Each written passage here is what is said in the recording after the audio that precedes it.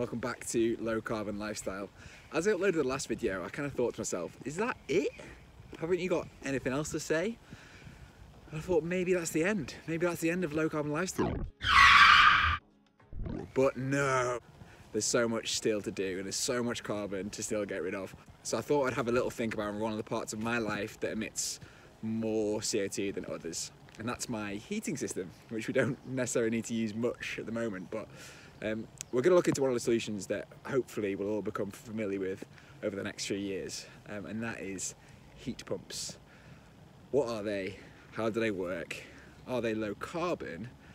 Are they expensive to buy? Are they expensive to run? Should I get one? Let's have a little look at heat pumps in low carbon lifestyle. And this is a little series about a low carbon lifestyle.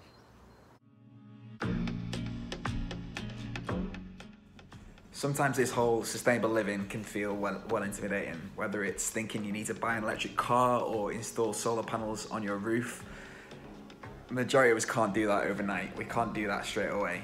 Or it looks like completely changing the way you live, living off the land or turning vegan overnight, both of which are fantastic things. But for this mini series, we're going to talk through how each of us can lower our emissions in everyday life and what that might look like.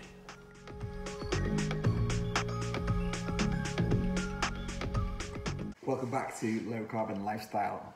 Over the next two episodes, we're going to take on one of the big issues in reducing emissions of the buildings in the UK. And that is the issue of heat. Where I live in County Durham, we tend to get fairly cold winters. And actually, across the whole UK, the story is the same. I'm sure you've experienced it. The average temperature over the whole year in Durham is actually about 9 degrees centigrade. So, for a lot of the year, in the leaky homes that we live in, we need some heating to be comfortable. And when the temperature's a bit higher, we still need some heating for showers or baths and for cooking. How do we do that heating? For the majority of us in the UK, around 25 million homes, this re- requirement for heating means we've got natural gas fired boilers. And they heat um, water in central heating systems to provide heat to radiators, to provide hot water to hot water tanks, or just directly to our taps. And we love it. We absolutely love it. We have really comfortable homes at quite a low cost, and we tend to be able to rely on natural gas boilers to keep us warm and washed all year round. But what's the impact of burning a fossil fuel in your home on your emissions? In episode one of this series, I talked about counting where our emissions come from.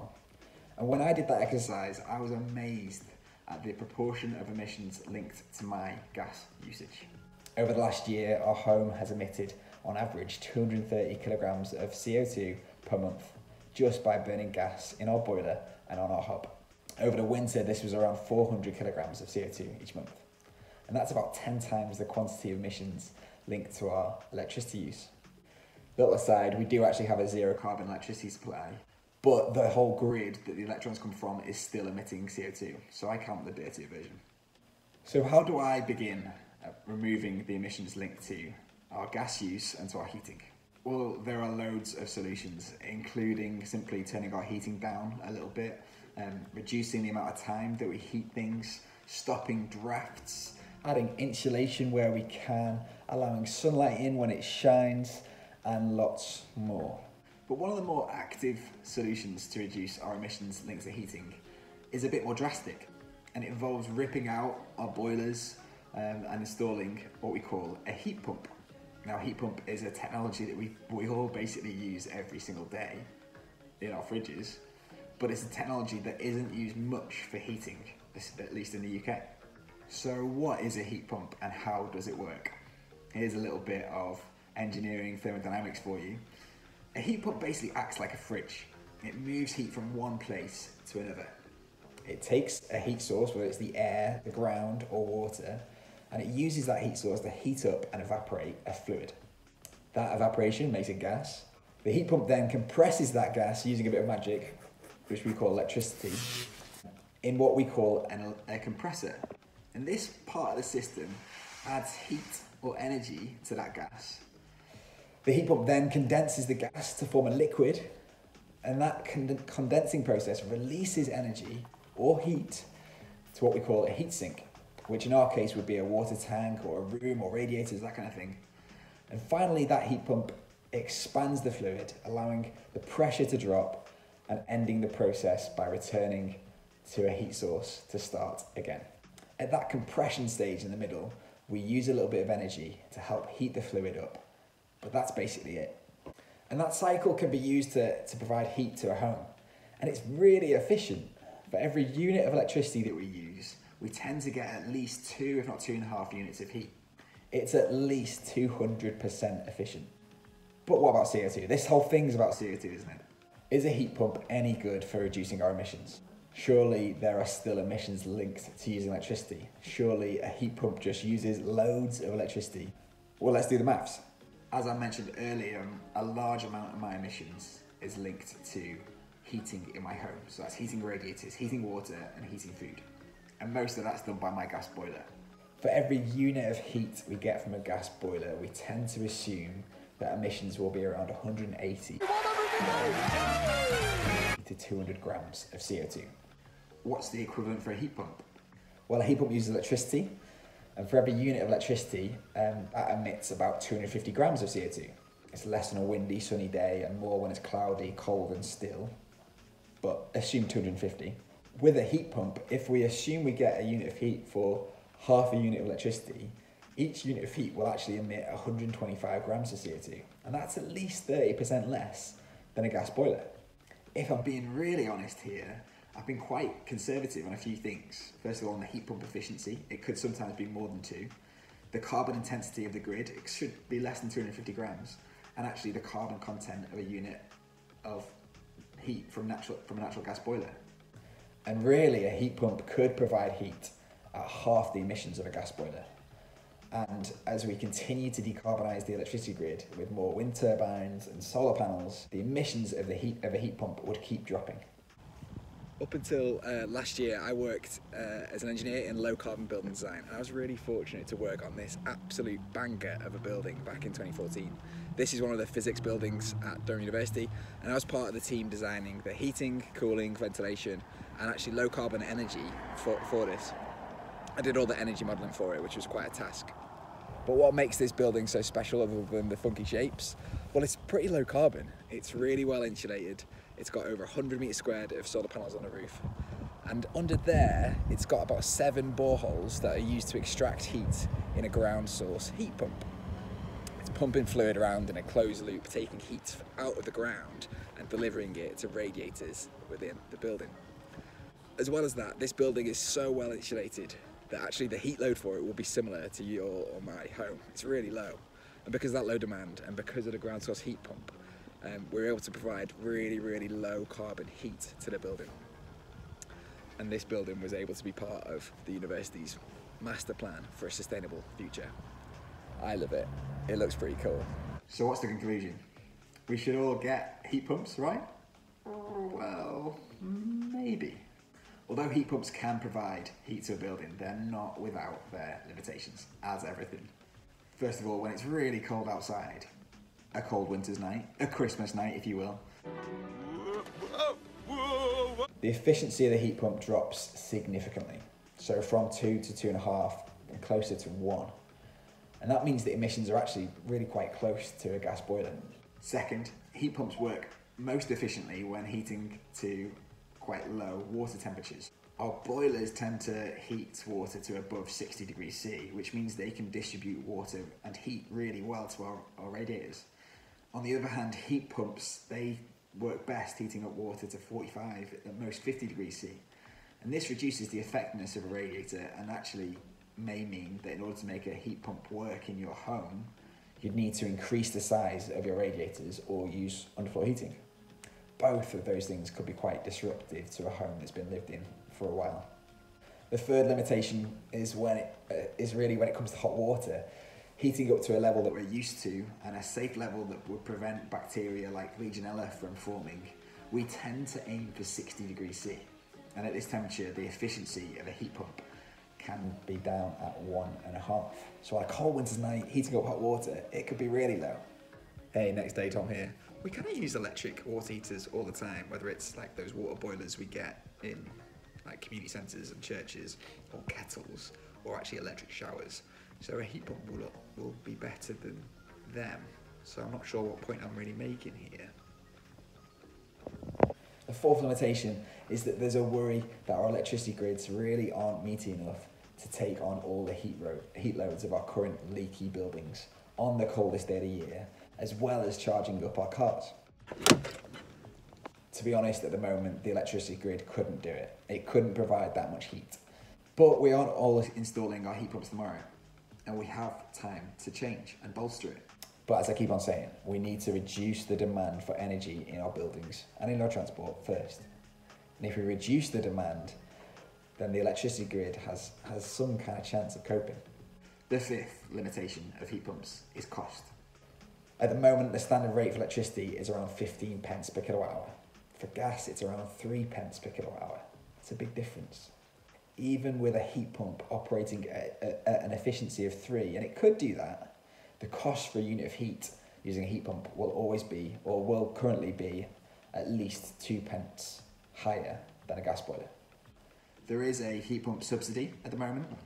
It's actually currently under consultation from the government, but at the moment you get just over 10 pence per unit of heat an air source heat pump produces, and that's from a government scheme called the Renewable Heat Incentive. This should offset the cost of an installation, which is significant, and it may help make a bit of money back over the cheaper heating by gas.